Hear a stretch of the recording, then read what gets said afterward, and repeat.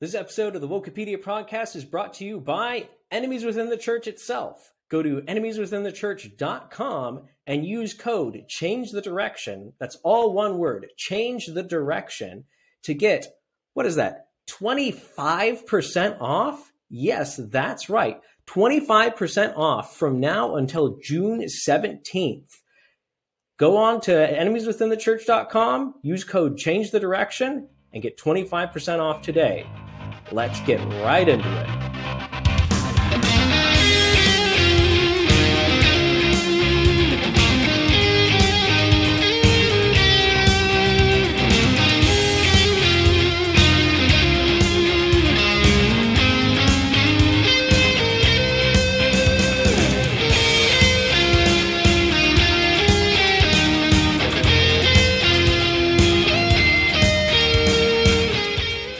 Welcome to the Wokepedia podcast. I am your host, Kyle Whitt. This week, we do not have Micah Sample with us. He is out celebrating his wedding anniversary.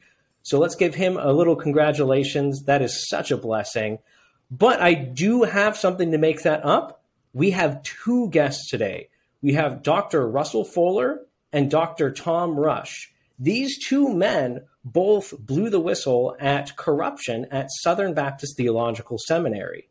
Uh, they've been a personal impact on me. I would not have made my video calling out the North American Missions Board, nor would I have been part of Enemies Within the Church at all if it wasn't for their step of faith. So we want to talk to these two men. And now they're they're blowing the whistle was a little while ago, and we're going to talk to them about what what exactly they did. But we want to talk about where things are at today because the Southern Baptist Convention has gotten more dramatic since then. So, uh, Dr. Fuller, could you give us a little brief uh, introduction of yourself and a little rundown of what exactly happened and uh, what what did you do to blow the whistle? Yes, I um, taught at Southern Seminary as an Old Testament professor for 22 years.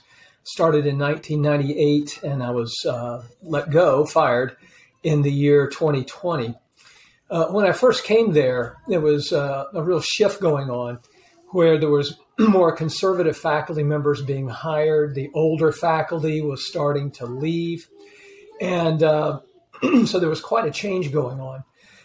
but in, even in my interview process, though, I told Danny Akin, who was the dean at the time, I said, I do want you to know something, Danny. And if this is a problem, you, you know, I have a job right now. And so, you know, I don't have to come here. And I said, You've hired two new conservative Old Testament faculty members. And I said, But I want you to know I'm far more conservative than these guys. And if that's going to be a problem, let me know. And he goes, Oh, that's not a problem at all. That's, that's just fine. And so they hired me. And uh, of course, I believed that Al Mohler was a true conservative. He was making some real changes and so forth. And so I believed. I believed in Al Mohler all the way. I was a, a big Al Mohler fan as anyone out there.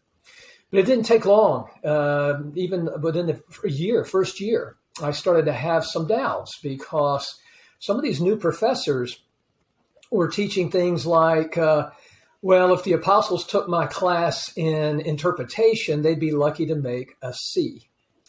I would hear things like this. Uh, another professor made a statement to the effect that uh, um, that the author of Chronicles either just made a mistake or corrupted his sources. So there was words like this being statements like this being said. And when the administration would hear about it, they'd say, "Well, you know, Al had to hire him, and you know, we'll we'll, we'll keep everybody in line and so forth." But that really wasn't the case at all. And uh, even one professor, and I don't think you can see this on the, the seminary website anymore. I think they finally got rid of it. But one of the professors, it was Dan Block, he was an Old Testament professor, got up in chapel and preached against the doctrine of justification by grace through faith. He said that justification was an infusion of righteousness and not uh, what we believe as Protestants, where we are declared righteous in the sight of God. And so, again, this was a major departure from biblical orthodoxy. And uh, he got called into the office and told not to do that anymore. But there was no public statement correcting the record or anything like this. And so even early on, I had hints that uh, there's problems. But by the time you get to around 2007, 2008, uh, Al Mohler's writing articles now where he's saying he believes in uh, sexual orientation. And then finally, at a conference of the ERLC, he repents. He's, he's doing this right in front of a uh, gay activist. He tells them how uh, he repents that he uh, does not did not accept sexual orientation, which the earlier Al Mohler would have said that's the linchpin to the uh, agenda of the homosexual community. Well, now Al Mohler is accepting the, the very linchpin of that philosophy. And when that happened, I knew then we've got real trouble. We've got real trouble. Uh, and things just got worse from there. And finally, what brought it to a head was the promotion of a man named Matt Hall. Matt Hall was going to be promoted to the second in command as provost of the institution. At that point, I realized if we're not going to fight for this, there's nothing else left to fight for. So we can't just let this pass. And so uh, I and two others, Mark Coppenger and Jim Orrick, these two gentlemen uh, deserve a lot of credit, and uh, they helped me out quite a bit in this. And we stood up and spoke against the promotion of Matt Hall. Uh, this caused a lot of trouble, and I knew this was signing my um, basically my death warrant there. I knew I was uh, going to be released after I did that. And Mohler was furious at me, again, screamed at me in the meeting, uh, calling me an idiot and you don't know what you're talking about. But he couldn't refute anything I said. All I did is basically give Matt Hall quotes showing that he believed in critical race theory and that he was pushing critical race theory. And again, he couldn't come against this in any way. Well, when the uh, and there's other problems at Southern. We had professors teaching that uh, the Bible teaches mythology. When Mohler was um, interviewing this gentleman, he had my notes that I had prepared showing from his dissertation and from a paper he gave at a scholarly society that he was holding to the fact that the author of the book of Job, and by the way, also Isaiah, uh, teaches mythology, which by definition, of course, is error and the apostles talk about mythology and they always contrast it with the truth. And so uh, Mohler knew all of this. And the man who prepped Mohler for this interview, uh, he was his top research assistant and he had my notes. He got it from me. And after the interview, he asked Mohler, he goes, Well, did you hire him? And Mohler's response was, Well, yeah. And he goes, Well, how could you hire him? And Mohler's response was, uh, this is what he told me, the, the uh, his his research assistant.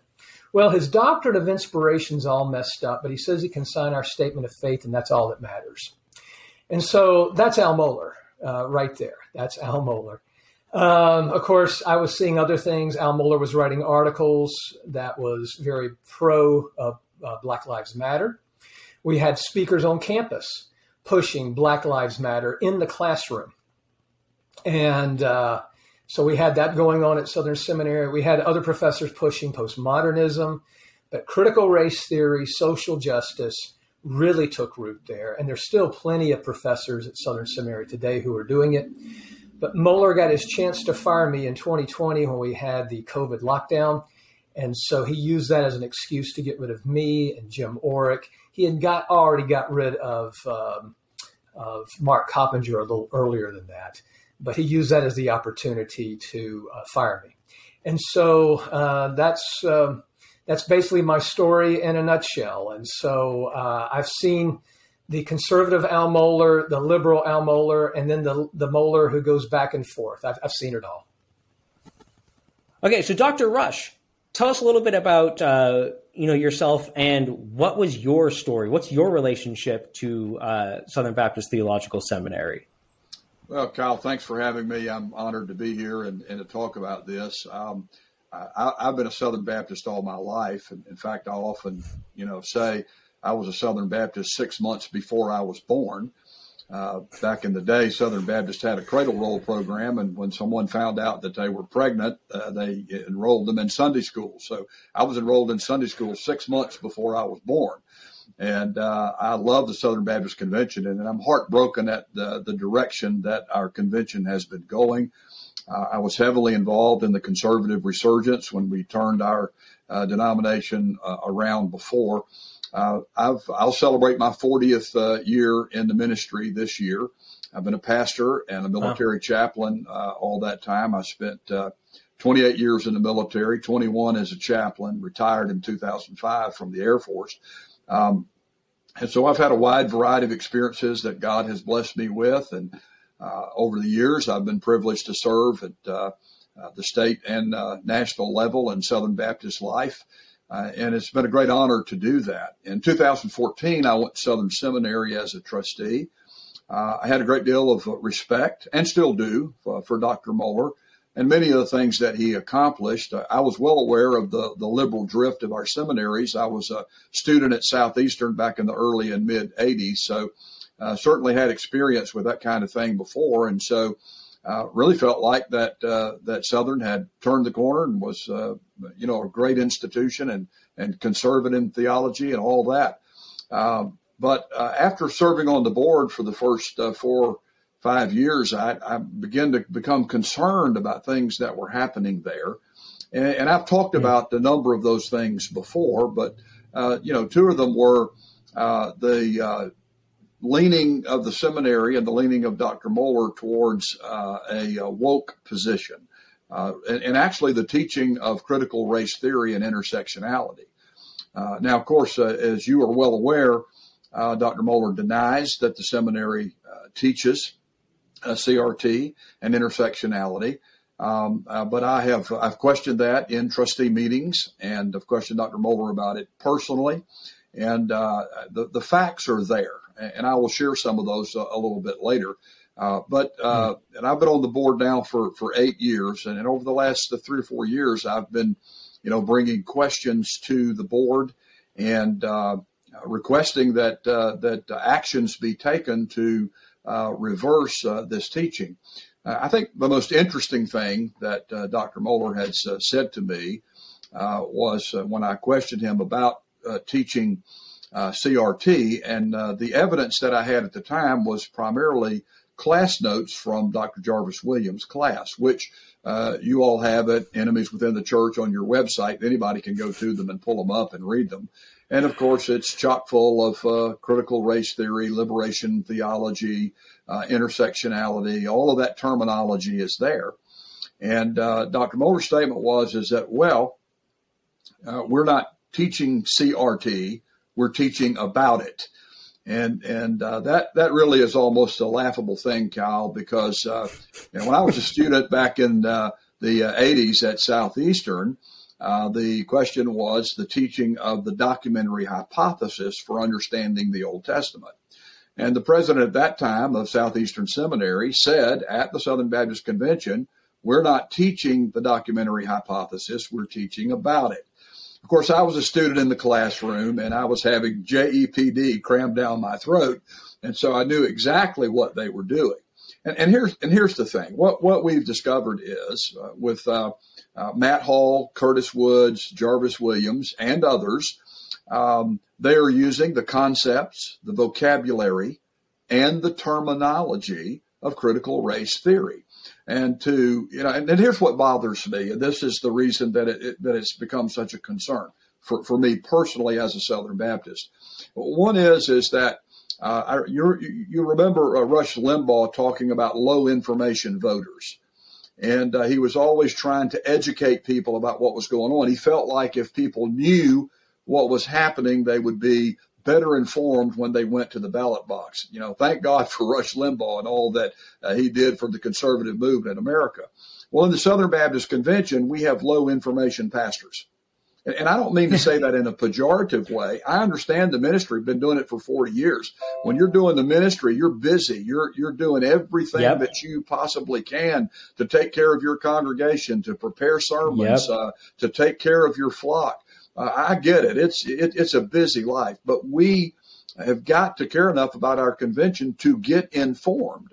And, and so, uh, this is part of, of the reason for my doing this. So, I would certainly oppose the teaching of CRT in our seminaries or anyway, you know, through Lifeway or any other entity of the Southern Baptist Convention. I would be opposed to our mission boards uh, teaching uh, their church planters and the missionaries CRT philosophy to use in their process of work. And, and you are well aware of that happening, so I'm not uh, giving you any information you don't already have. But, but this is where I've become concerned. While I would be opposed to teaching it, it bothers me even more that we deny that we're teaching it. If you're going yeah. to teach it, just be honest about it and say, we're teaching CRT because we think we ought to be woke. That way, everybody would know. Now, it, what, what, we what we have is is uh, uh, sort of a contention that comes up. You see, uh, in that there mm-hmm. are those of us like Dr. Fuller and Dr. Orrick and myself who are exposing what's going on, like yourself exposing what was going on at uh, at NAMB, and it's like, well, now who who do we believe? I, I just I think integrity is important, and and I and I wish they would just be honest about it. I would have much more respect for Dr. Mohler if he would simply be honest about the fact that, yes, we are teaching CRT and intersectionality at Southern Seminary. Now, I have a, a number of things, and we can talk about this as we progress on here, uh, that I think uh, provide uh, absolute proof that that's what's going on. And our Southern Baptist pastors need to do the research, need to do the work, need to inform their congregations. And I would hope that they would come uh, to Anaheim next week and change the direction.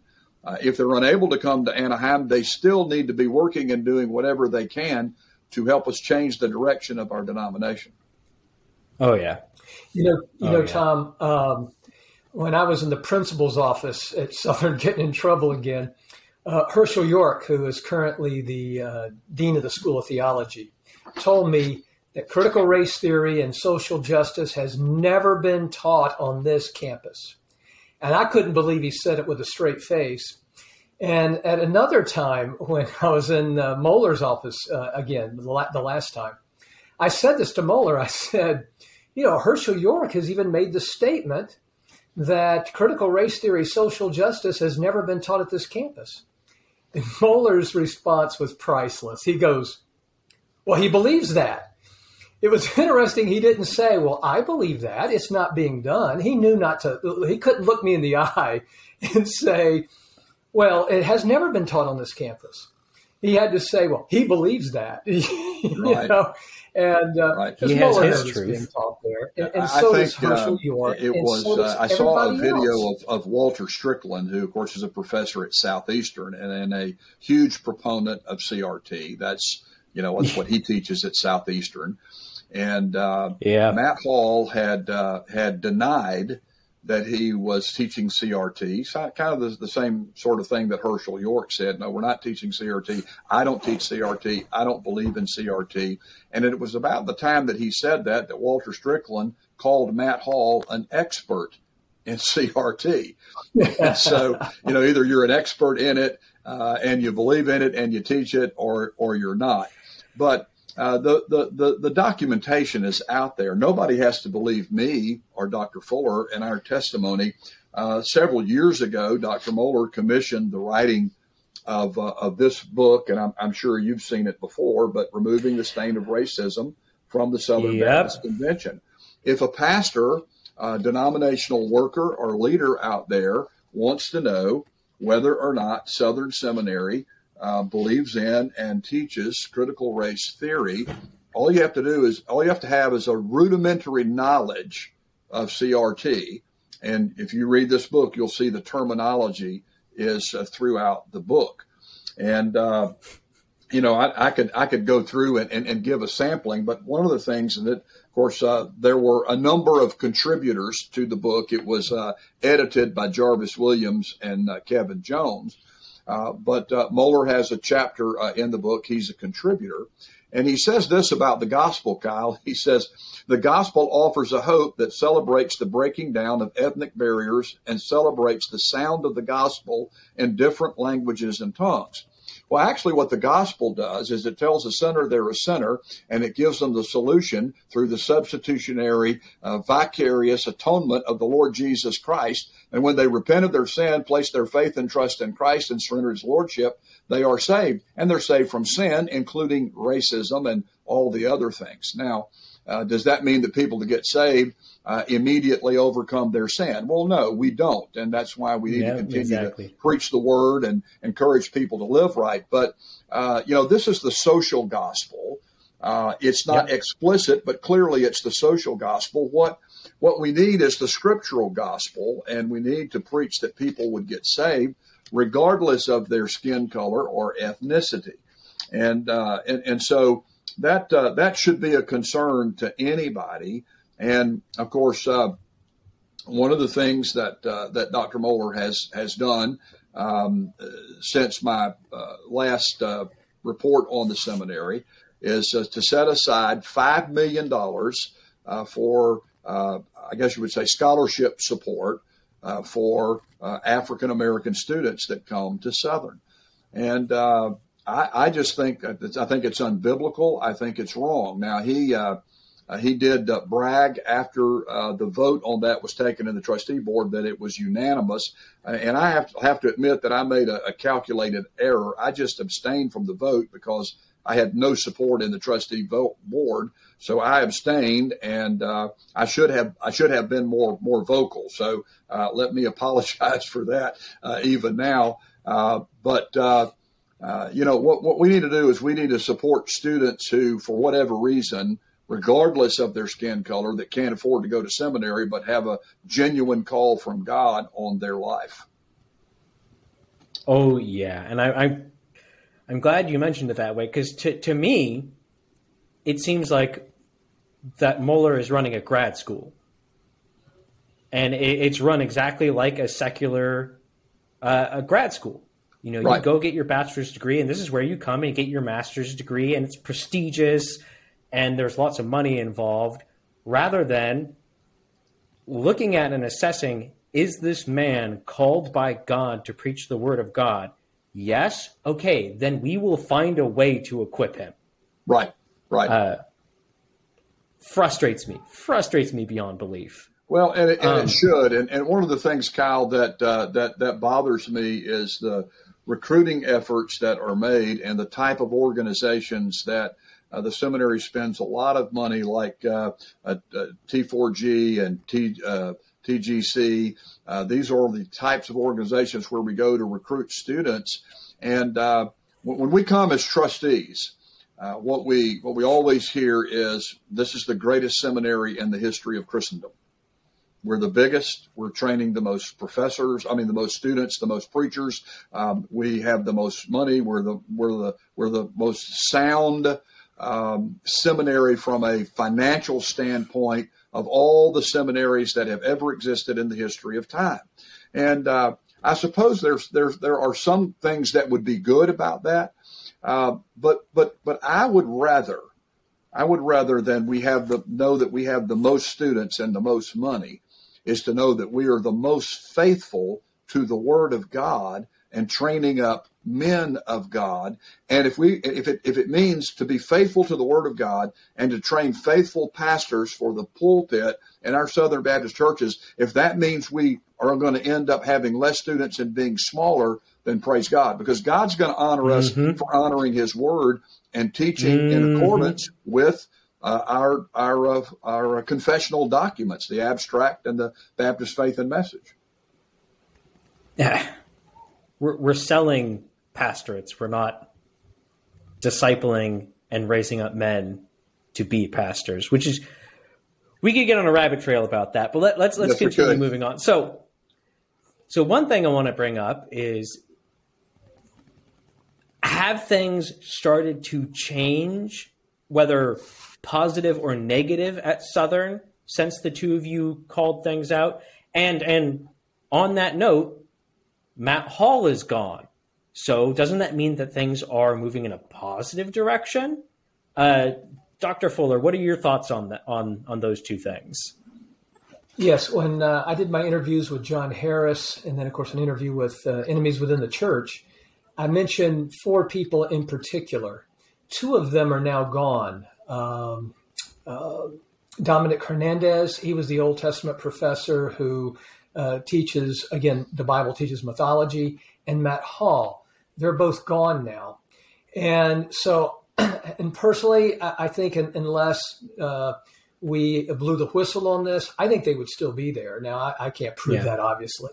But Yeah. I think that the, the light that was shined upon the problems at Southern Seminary uh, helped these gentlemen to uh, move on. For Hernandez, I remember in the classroom, students would come up to me after they'd be in his classroom and they'd say, you know, he keeps talking about how conservative he is. And he goes, one guy goes, it's like a child who's constantly telling you they didn't do something and you just know they did do it. And, and uh, uh, one of the last, the last paper I read at Southern Seminary was by a man wanting to get into the PhD program, and he did. And again, it had all kinds of liberalism in his paper. And I knew the gentleman, I knew he wasn't that liberal. I said, Why did you say uh, these kinds of things? He goes, Oh, Hernandez told me to put that in there, you know. And so uh, Wow. his liberalism was very well known. Matt Hall, again, got a lot of uh, pushback, and Matt Hall's even had trouble at one of the churches that he was a leader in, in in Louisville because some of the members were starting to ask very difficult questions of him, and he didn't do well. And he he just constantly doubled down. And He would say he doesn't believe in critical race theory, but he wouldn't back off of anything else that he really has said, which is pure critical race theory. And so a lot Yeah. of people saw him as disingenuous, dishonest. And so not only did he leave his church where he was an elder, but uh, eventually he would leave the seminary. And I remember Mohler one time in a um, in a chapel message, or before chapel. It was it was during chapel, excuse me, in which he says, "Look, I know a lot of people have left Southern Seminary to go to other places, but Matt Hall will never leave this place." And he was letting it be known Matt Hall was going to be the next president of, of Southern Seminary. He Yep. will not be let go. And uh, of course, now he's gone. And so uh, there have been changes. Mohler has gotten, uh, he, you know, he disassociated from Together for the Gospel, which he that was his baby. I mean, Mhm. that was Yes, something it was. he was very proud of. He got he also resigned from the Gospel Coalition, and so he's he's clearly feeling the pressure, and he wants to be viewed as still the conservative school in the Southern Baptist Convention. But notice he's trying to move back to the right again. So Al Mohler, uh, as the old faculty that trained him used to say, he's like the weather vane. Watch for the winds and watch which way he's blowing, and that'll tell you where he is theologically. Yeah. Right now, he wants to appear because he's gotten a lot of uh, criticism uh, through things like Enemies Within the Church, the John Harris videos, and other things. Right. And so Mohler wants to make the school look conservative again. Yeah. Yeah. Well, I- Kyle, the, I the think thought there's. that pops into my head Go is ahead. uh, Yeah. you, you mentioned that uh, he repented, and that, that word is very important. He's willing to repent of his orthodox biblical view of homosexuality, Correct. yet he doesn't repent of, you know, getting rid of Matt Hall, getting rid of all these other things, Right. uh, leaving T4G, leaving TCG. He doesn't repent. That's all done secretly and silently. Oh, yes. Yeah. And a lot of things are taken off the websites. There's a lot of cover up. They do Mhm. not come clean about what they've done. They do not come clean. And you see this again at South uh, Southeastern. You see the same thing. They had on their website they had uh, Kingdom Diversity or something like this, and they just totally took it all down. No explanation, no repentance. So Mhm. it's uh, it's it's a game being played. To be quite honest with you. Well, yeah, that, that- this, that's yeah, right. that's the but thing that people need to let me tell understand. you, I, I know from students who still contact me and others that liberalism is still being taught at Southern Seminary and social justice, critical race theory. This stuff is still being taught. All you have to do is look at Jarvis Williams' latest book. It is clearly pushing a critical race theory. And uh, I mean, you know, he's still teaching there. And Yeah. so don't be deceived. I, I, Mohler will do things like this. He had James Lindsay come on his podcast. And it, the whole point was Lindsay was going to go after critical race theory, and Mohler sitting there bobbing his head. That's right. That's right. Well, Lindsay knew he was being used. And so a few weeks later, Lindsay on his Facebook page says, Do you want to know what critical race theory looks like? And he has a clip of Matt Hall. He knew Mohler was using it. And so he comes out with this clip of Matt Hall. And by the way, if you go to my Facebook page, I reposted. It. You have to look down a ways, but it's there. And again, James Lindsay knew he was being used by Mohler to give him conservative credibility that he's truly against critical race theory. Uh, but at the same time, uh, Lindsay, you want to know what critical race theory looks like? Look at this. so, so, he knew it. You, you know what it reminds me of?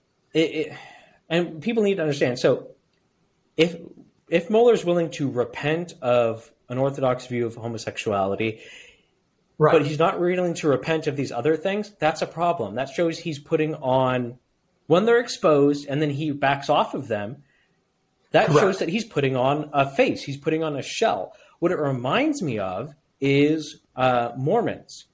If you meet a Mormon, they come to your door, they are what? They're the nicest people you will ever meet. They look so good, so nice. Go to Salt Lake City and let it be known that you're a Christian. Specifically, let it be known that you're a Baptist and see how fast that veneer drops. You will see them behind the scenes behind you're, the. You're exactly the, right. I've been to front. Salt Lake City and and done exactly that, and, and, you're exactly right about that, Kyle.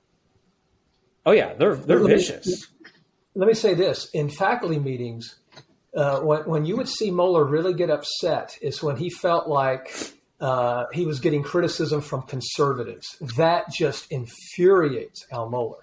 Mm. And he always, you could tell when, when liberals would criticize him, he it didn't bother him much. But when the conservatives did, oh man, you could the, the real hatred would come out, and he really went after mm. people like. John MacArthur and others. Uh, even calling the people behind the Dallas statement or the statement on social justice, calling them a bunch of racists. But yet he has no evidence that these people are racist whatsoever. Right. But yet he says if you sign that statement, then you're agreeing with all the racist things these guys say on their blogs. But he doesn't give any examples of this. Of, of course, again, always. Is, well, of course, and again, this is this is just slander, and it's very yeah. sad. And then he, he makes statements like the you know again the social justice statement does not see any victims. Uh, it's like the man didn't read it. It certainly does say that. So again, it's always he as they say he punches to the right. He never punches yep. to the left. Yep, yep. Well, yeah, I, I don't want to get distracted on that because that's such a thing that frustrates me. But uh, Dr. Rush, you know, do you have any thoughts on on just kind of the direction of of South Southern Baptist Theological Seminary? And so you're still a trustee there, right? So you're still right. in in the mud, right? Yeah, I'm I'm still so, there. I've I've got uh, two years left on my uh, on my term. Do you think they're going to bring you back?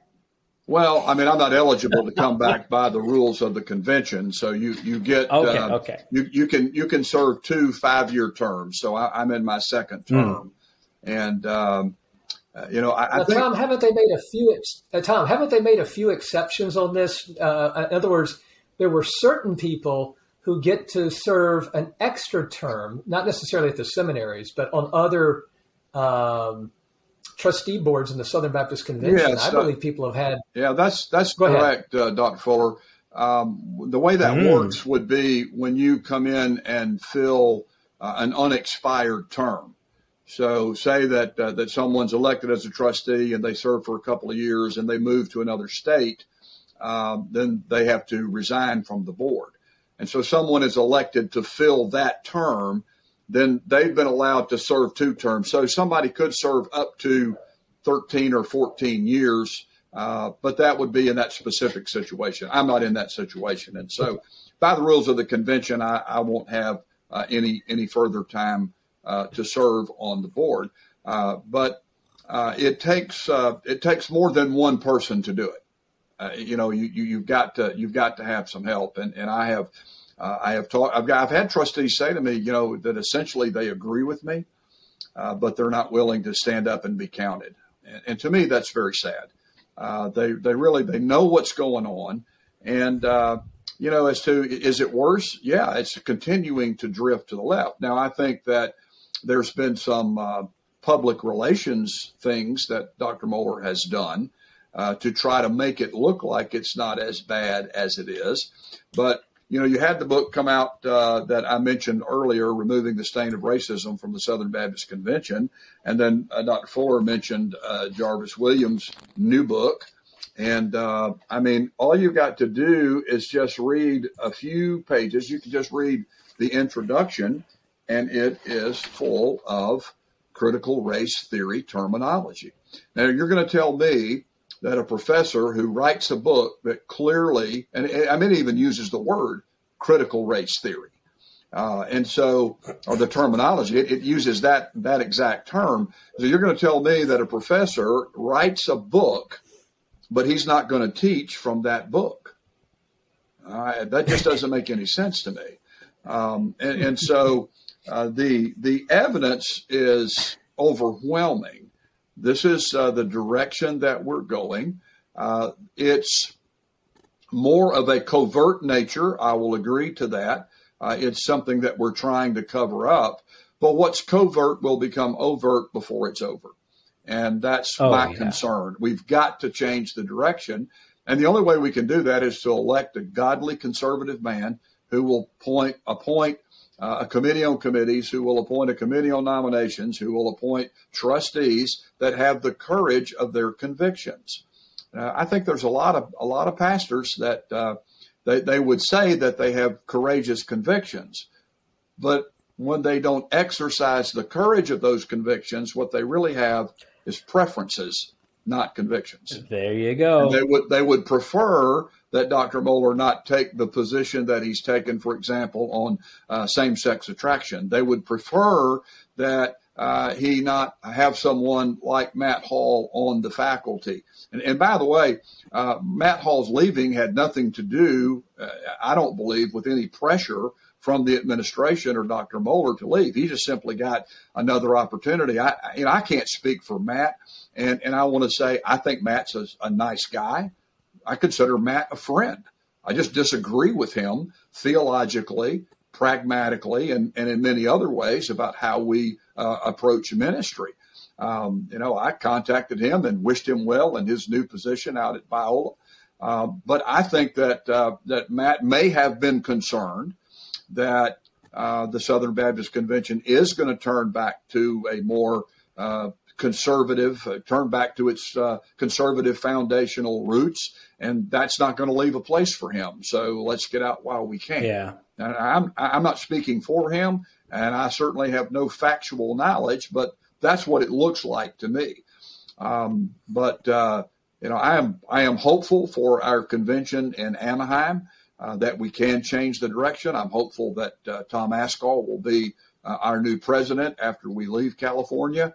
Uh, and uh, but but pastors, Southern Baptist pastors, have got to get concerned about this leftward drift and start doing something about it. Well, it, it reminds me of uh, uh, the you know the man that says, "I die for you know I die for Christ. I die for Christ," uh, and the response is, "Well, why aren't you living for Him right now?" Exactly. and and that's the and you know the whole uh, COVID situation revealed that for a lot of Christians in general, but for a lot of pastors, that they have a lot of stated conviction uh, of what they would do in a circumstance. But as you said, it's preference. I'd prefer not to shut my church down for a year, but I'm going to do it anyway. Right. Uh, right. Uh, and oh no, why did my church essentially implode after I did that? Um, it's it's not it's nauseating. But a question I have for the two of you, I'll, I'll make it a two part question. So the first part, who is the real Al Mohler? Because we hear a lot. You know, you know we've talked about he kind of has a puts up a face. He's trying to appeal uh, to the liberals, appeal to the conservatives. Uh, he's kind of playing both sides, and then behind closed doors, he acts a different way. So, who's the real Al Mohler? And also, why is it important for Southern Baptists to know this going into the convention next week? Well, uh, my opinion, again, when I first went to Southern Seminary, I was thoroughly convinced that Al Mohler was a convictional conservative and that um, he was really about changing Southern Seminary and so forth. And there's no doubt he did change Southern Seminary, but he needed to do that in order to be the president of Southern Seminary and, re- and remain the president of Southern Seminary. But again, once, if you do the math, um, go out about 10 to 15 years after he was elected. By that time, he was able to uh, basically have a whole new group of trustees. Uh, and basically, they can handpick these guys. Um, I know that because a friend of mine uh, got a phone call one time from one of the uh, seminary presidents right now. Do you want to be a trustee for me? Oh, how could he do that? He's not supposed to be able to do that, but that's what he did with my friend. So these guys can pretty much handpick their own people. If you do the math, Mohler came in 93, uh, go out about 10 or 15 years. That's when Mohler starts moving back in the other direction. Mm-hmm. You see, he starts going into, again, uh, sexual orientation and things like this. So, and, what the old school used to say about him, because he was completely liberal back in the day uh, even though Mohler will say, well, yeah, I was on women in ministry, but I always believed in the inspiration of Scripture. He's quoted as saying that in the press. But even his friend Mark Dever uh, had an interview with uh, uh down in uh, Birmingham at the Southern Baptist Convention. I believe that was 2019. And Mark Dever was being interviewed by um, Uh, Tom Ascol. And what uh, uh, what um, Dever said was, well, you know, when Al Mohler tells his biography, it gets more conservative every time he says it. And then they all start laughing because it was a joke. Every time he talks, he acts like he's more conservative, you see.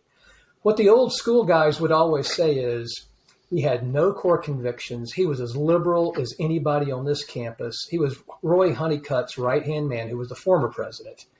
But when he mm-hmm. saw that, look, if you're going to become the next president of Southern Seminary, you're going to have to be conservative, he became a conservative.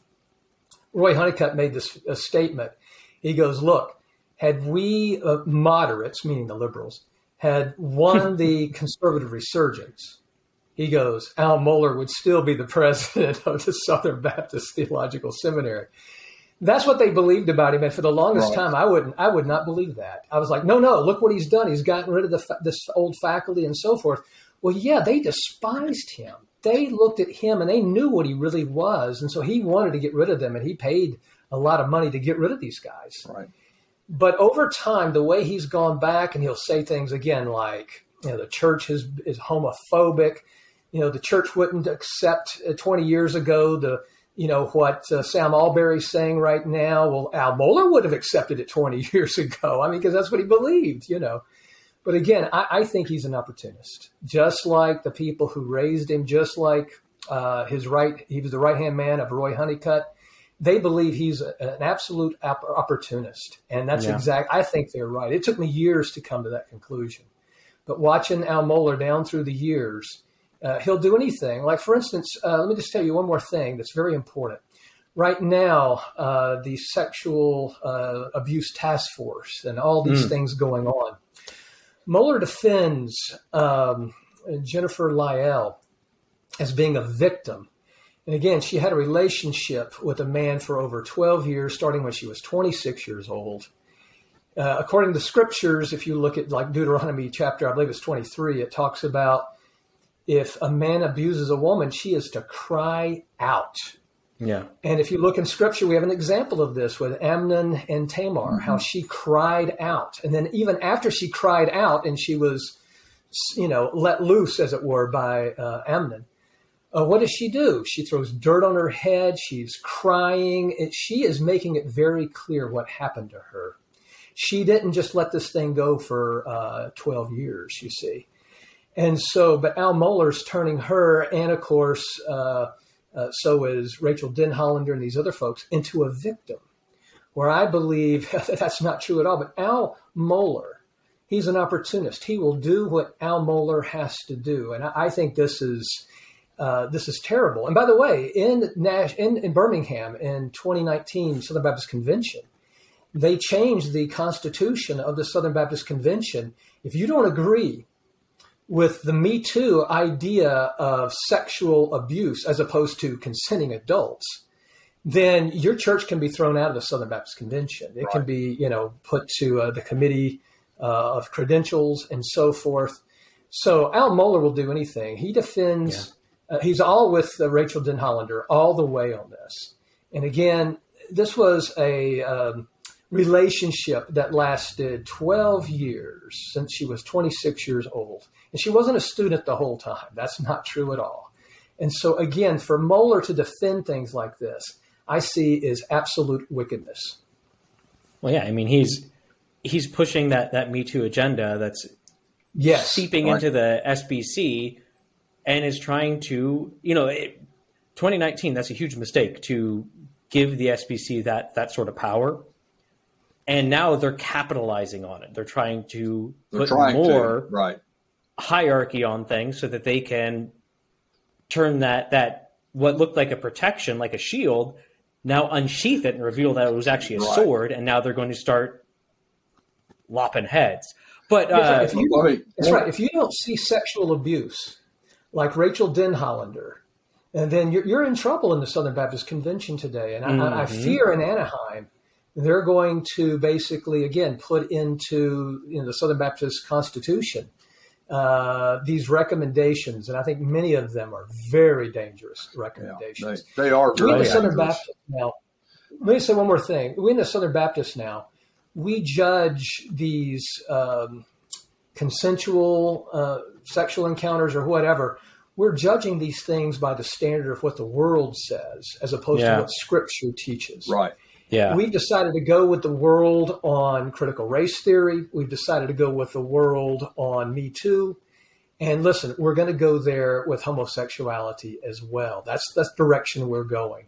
We're, so the woke we're a couple feet down there. That's right. The woke progressives are in charge at the Southern Baptist Convention, and that's every leader in the um, agencies of the Southern Baptist Convention, including all the presidents of the seminaries, all of them. Right, right. Yeah, well, yeah, that's the that's the scary point we're at in the SBC, uh, and again, they weaponized more things than that over the course of time. Of course, and a lot of these churches that are going to get hit, that they're going to come after, are going to lose their buildings too because yeah. they signed them over to the SBC. Uh, yeah, let me but, just yeah, let me say one okay. more thing about that. Um, our leaders won't even speak out when we go into the Fifth Circuit Court of Appeals in New Orleans and lie to those judges and say that the Southern Baptist Convention is like the Roman Catholic Church. We're a hierarchy organization as opposed uh. to cooperating churches. Not one leader in the Southern Baptist Convention said a word about that. Not one. Now, Al Mohler, when he was asked, he goes, Well, I can't talk about an ongoing uh, case. Well, it hasn't even gone to court yet, but can't you, as a leader of the Southern Baptist Convention, tell us what our church polity is?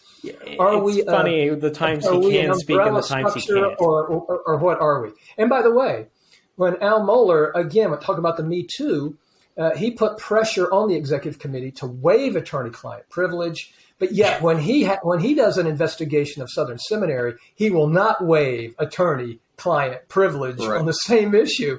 So again, yeah. I-, I, see Mohler as a complete um, opportunist. Yeah. Yep. Uh, me, Dr. Rush, let me uh, say something. What are your thoughts on that? Yeah. Uh, yeah. Let me talk, talk about two two things quickly here. Uh, you know, first, uh, who is Al Mohler? Unfortunately, I don't think we really know. Uh, I would agree with Dr. Hmm. Fuller. I, I, once certainly thought he was a convictional conservative. Um, as far as the trustee system, um, the, the, bottom line is the entity heads have way too much influence over the selection process. I don't think I was mm-hmm. picked to be a trustee, but I think I went through a vetting process. In, in other words, uh, you know, hey, we're thinking about electing Tom Rush from Georgia. You know, is, is that okay? And and what Al would have known about me at the time is he probably would have said, "Yeah, that's okay. We'll be glad to have Tom on the board." Um, I don't think he would say that today uh, if he had the choice.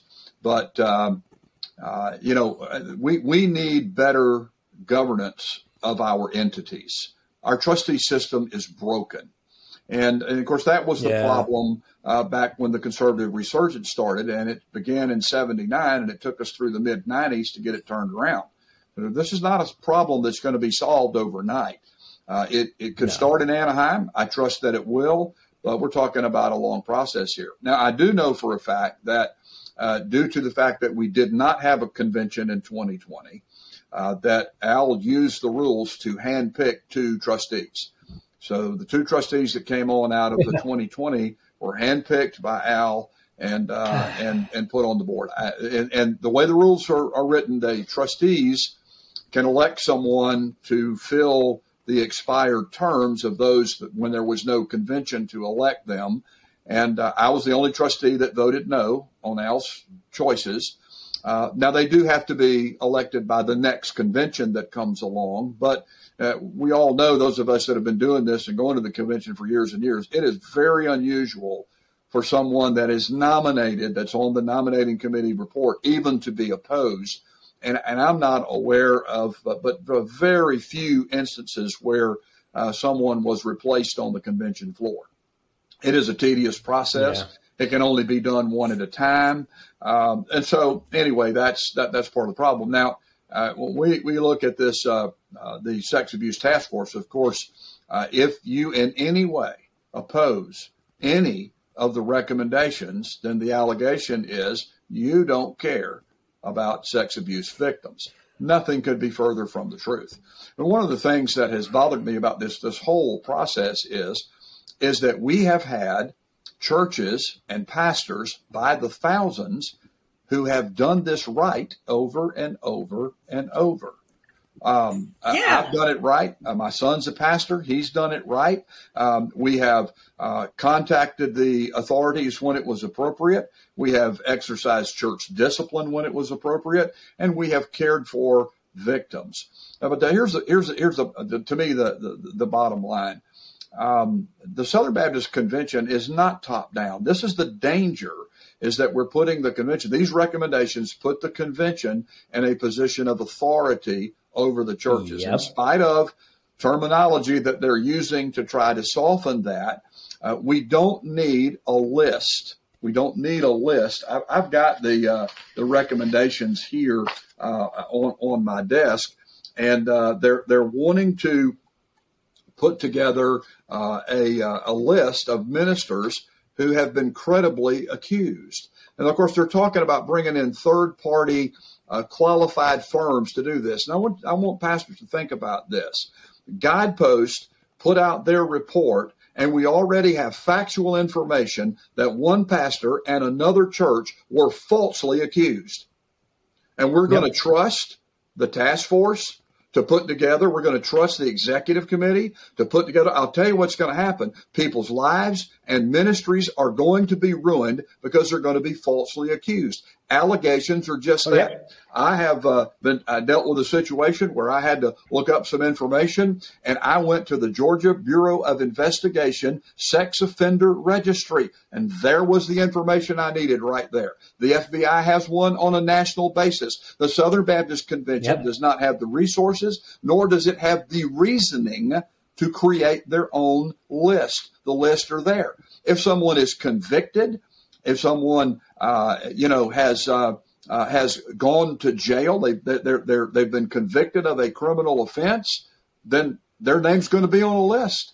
And you know, to say that that we're going to go with credibly accused and we're going to use a preponderance of evidence and we're going to take that from attorneys who are looking for a place where they can go make some money I mean, I just Googled it before we got on today, and the law firms out there that are advertising if you were sexually mm-hmm. abused in a Southern Baptist church, call us. We can get you money. I tell you who's going to end up with our missions yep. money. The attorneys are. They're the ones that are going yep. to end up with the money.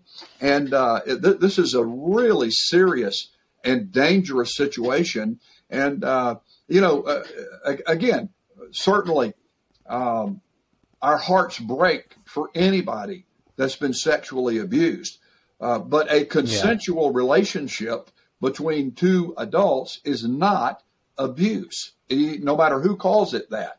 And it takes a lot of wisdom to discern this. The unfortunate thing uh, with these types of, uh, of, of allegations when they come out is that oftentimes it's a he said, she said thing. It is really difficult yeah. sometimes to get at the truth. That's why in America, we have a biblical jurisprudence system that allows someone to be innocent until proven guilty. Hey, it's not a perfect system because it's run by humans. You know, you have a human yeah. defense attorney, you have a human prosecutor, you have a human judge, and you have a human jury. And we're not perfect. How many times have we read the story? I just read one recently of a man. I can't remember exactly how long he had been in jail, but he had been jailed for rape. He'd been in jail, it was over 20 years, if I remember correctly. And DNA evidence, DNA evidence, which wasn't available at the time, exonerated him. He's now out of jail. Now, this is a two way street, and we certainly want to take care of anybody that's perpetrated sexual abuse. I want them to take the, the full uh, consequences of the law, uh, should be on them. Mm-hmm. But it's got to be right, and we cannot uh, allow ourselves to get in a situation where we become the judge and the jury uh, and the executioner as the Southern Baptist Convention. That's not our job. Now, uh, we no. have well over 300 pages of reports now. We have the, of course, we have the guidepost report. We have the uh, eh, the task forces report and their recommendation to the convention. We've got over 300 pages of information. We have a gentleman who is running for president of our convention, Dr. Tom Ascol, who in a one minute and 50 second clip explained the problem and what we need to do about it. And in essence, what, uh, what Brother Tom said was there are some sins that are not crimes. There are some crimes that are not sins if it, and God has set forth in His Word a way to handle both of those things. If it's sin, exactly. the church has church discipline. The church should deal yep. with that. The leadership, the pastors, the elders of a church should handle their own church discipline within their church. Do we fail at that? Often we do. Uh, churches need to do better at church discipline. Uh, and then yes, they do. the Lord has set up the magistrate. And as Tom said, it's either the state authority, the local municipality, whomever. If a crime has been committed or there's suspicion that a crime has been committed, committed, then involve the local authorities. That's really the only job they have from God to do. And so Tom yep. explained it in a minute and 50 seconds what it's taken the, the, the task force, uh, you know, somewhere around $4 million and uh, 300 pages to explain, and then they didn't get it right. and they want many, many millions more. But uh, hey, it's uh, uh, Tom. You you mentioned yeah. Uh, uh, innocent till proven guilty. Uh, I remember one of my last faculty meetings I was in that Mohler appointed a woman very high up in the administration. I don't know if she's technically administration, but she's high up at Southern right. Seminary, and she was appointed to be the um, sort of like the advocate for any woman who makes any kind of accusation uh, with anybody at Southern Seminary. Right. Of course, there was nobody put in a position of advocating for the person who was being uh, accused. Right. So Southern Seminary was already putting their thumb on the scales. Mm-hmm. If you are accused of something, you're basically guilty until you prove yourself innocent. Right. She already, ma- uh, uh, the woman already has an advocate. You right. don't have an advocate. You see. And yeah. So that, this is this is social justice, uh, uh, practically speaking. And so maybe I ought to ask yeah. Al about that next time at your next uh, uh, meeting. Well, and see, I don't have an issue with there being an advocate for victims yes. of abuse. Uh, right. one, I said victims of abuse, not women, because right everyone can be a victim of abuse, but paid staff. Uh, that's where you're putting your thumb on the scale. That's where right. you're you're leaning into something that you shouldn't be leaning in. Now, if there's again, if there's a someone who's on staff that's already doing something else that helps with that, that's one thing. If there's somebody that's uh, there on a non-staff basis, that's a different thing again, as soon as assuming they're doing it from a biblical standpoint, right? But to have a someone in the administration specifically only for the woman, correct? Which I, I we're not going to pick apart all the errors there, but uh, Tom, yeah, you said a lot of good things there about the uh, uh, the sexual abuse uh, task force, about the report, everything. What has Mohler you know, you mentioned Tom Tom Ascol. What you said, a minute and thirty yeah, to handle it. Second, uh, how yeah. minute and fifty? Okay, how has Mohler handled this? Well, I mean, his initial uh, response uh, back in May when the Guidepost Solutions came out was uh, uh very affirming uh, of it, and and it, you know he expressed it from the standpoint of being heartbroken about all the people that were uh, that have been abused and misused, and certainly we would be. I mean that that would be true. Um, I I can't tell you in any absolute way, but I, I do know that uh, the task force had an initial set of recommendations that they have toned down. Uh, and, and, and so uh, and and the I think the entity heads yeah. would take credit and perhaps they are due credit uh, for uh, communicating with the task force and saying you need to back off on this a little bit. Uh, so I would I would suggest that when we get to Anaheim, the entity heads are going to be in favor of the uh, recommendations that came out on Wednesday uh, from the task force, um, and uh, and they are better than the original ones. I, I agree, uh, but they are not biblical. They are not pragmatic. They are not appropriate for the Southern Baptist Convention. We need more time to look at this. Some of the things they've said are are are accurate, and some of the things that they have said uh, we do need to look into. We, we, we do need to take this seriously. Uh, but uh, we need our new president to appoint a new task force to reconsider all this and to take our time with this. Uh, the idea that one of the recommendations, Kyle, is to create a ministry check website. And I just want to say, wow, that's that's kind of sounds like Big Brother to me. That is the last yeah. thing the Southern Baptist Convention needs. And then, of course, the, the terminology that they use is credibly accused. Well, we already know that uh, the task force and guidepost solutions can't credibly accuse people because they have wrongly accused people already. We can't afford to mm-hmm. have that have that happen. Um, now, now, I think there's some on the other side that would say, well, you know, if it stops uh, one abuser from abusing one person, uh, you know, it doesn't matter how many people get falsely accused. Well, yes, it does. Uh, we need to work yeah, on, on both sides of this thing. And so uh, I, I will be opposed to the task force recommendations. I am not opposed to our convention doing whatever it can uh, in, in, in a biblical sense to try to help churches along this line, but I'm not for uh, producing any uh, sort of oversight uh, from the executive committee or some new uh, organization or entity that they're talking about creating. That is totally unnecessary. Mm-hmm. And I fear that if these recommendations go through, we are going to see a mass exodus, if not from the convention, from cooperative program giving, because um, oh, yeah. one, one, report says that uh, the total cost of this is going to be about 9.5 million a year and that it would cost the International Mission Board something in the neighborhood of four million, which equates to about 75 missionaries. Uh, this is well, something that needs. Did you see? They already bypassed that. If you didn't see, yeah. Uh, if you didn't see that Kevin Ezell uh, volunteered the money from Send Relief. yeah. Right. Right. Yeah. Which we're not even going to get into that because that. Yeah, that's a whole that's nother. A, that's a whole nother uh, uh, yeah, worms. but it? one thing, one thing I want to uh, bring up is, you know, you mentioned the term credibly accused, and I want to clarify for people listening that may not know. Credibly accused is not the same as uh, credible guilt. Right. Credibly right. accused means that the accusation is credible, not necessarily true. It's not assessing the truth of the accusation. It's assessing whether the accusation itself is just Right. It essentially it's is it a logically consistent? Does it does it have the potential of being valid?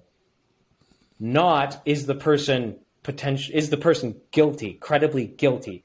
Those are different things. That is a very low standard. It but extremely low. Uh, w- we've been going for quite a long time. So, uh, quickly from both of you, 30 seconds, uh, just because we, we've gone a long time now, 30 seconds why does any of this matter? Any of what we're talking about matter for someone who's listening who is not Southern Baptist? Well, the Southern Baptist Convention well, has think- a has a tremendous impact uh, with its size and its missionary force throughout Christendom. And uh, I mean, mm-hmm. we, we need to partner with our brothers and sisters in Christ and other denominational groups that believe in the authority and sufficiency of Scripture.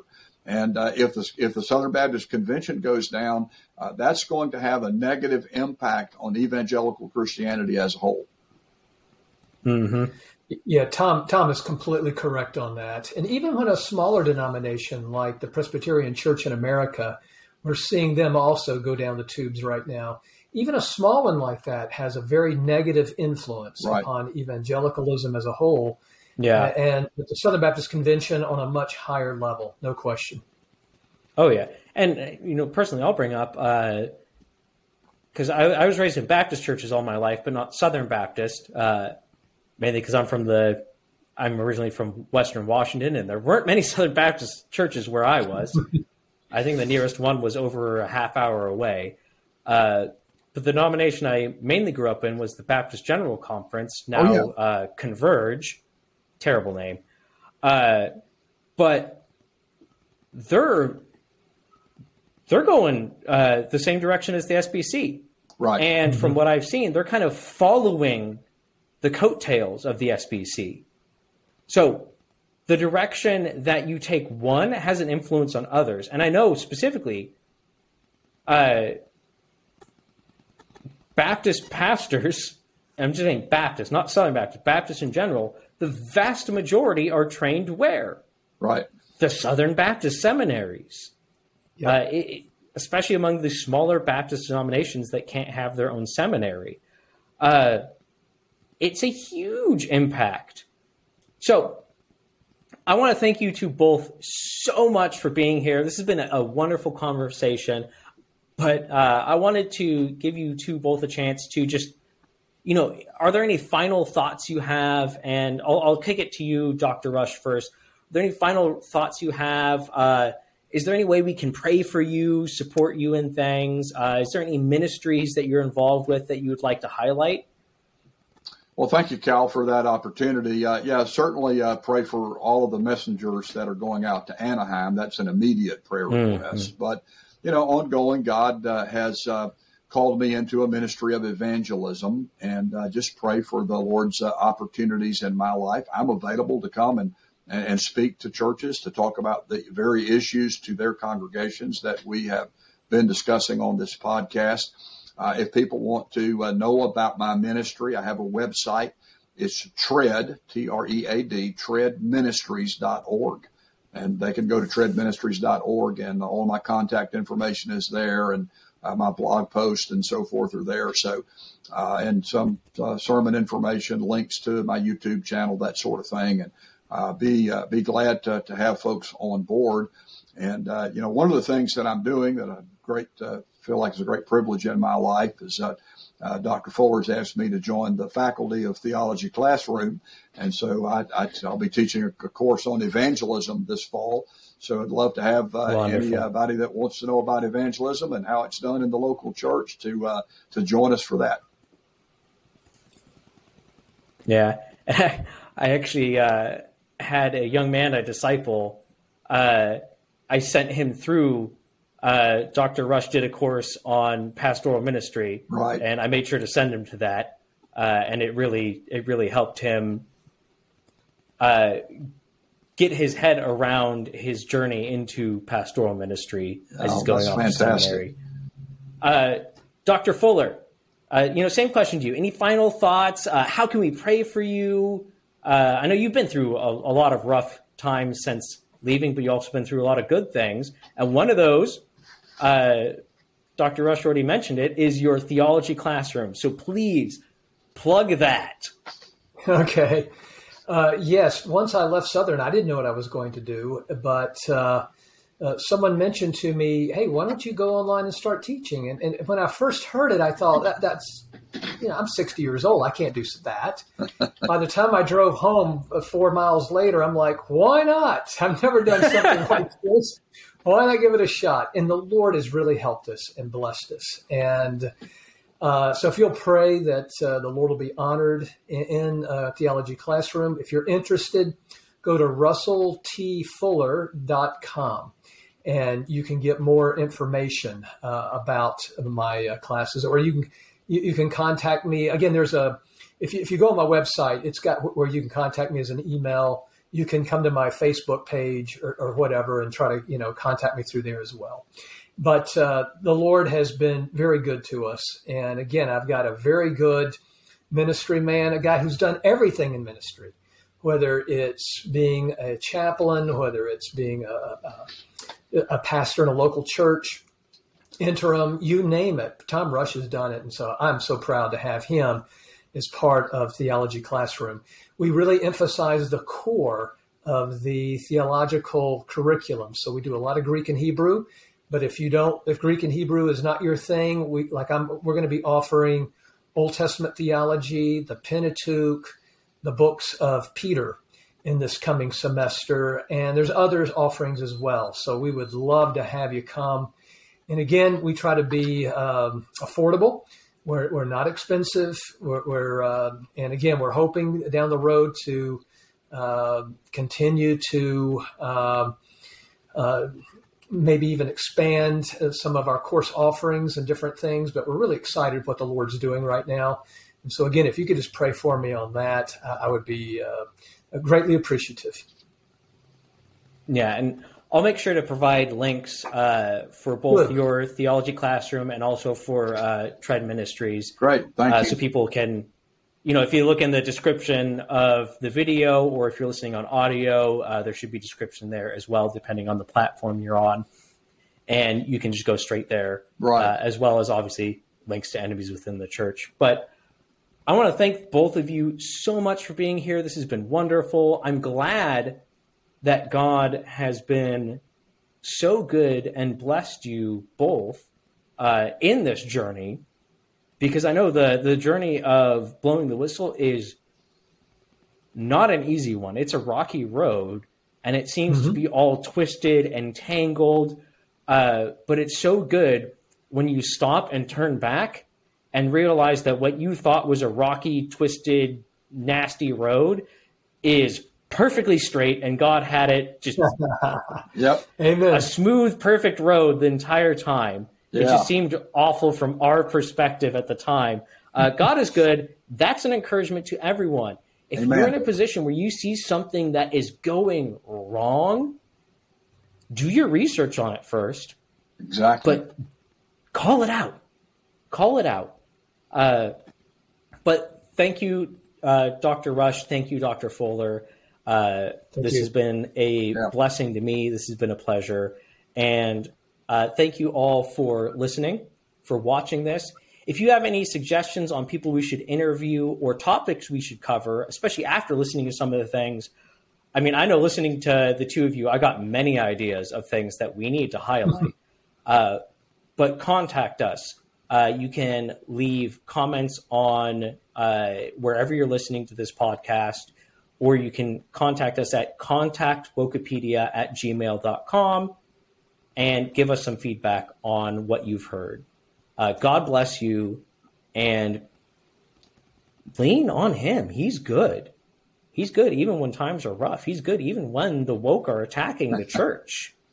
Uh, he will not be defeated It doesn't matter who's coming against you when God's on your side. You're on, you're in the majority That's when you're right. on God's side. Uh, so God bless you all, and remember, don't go woke.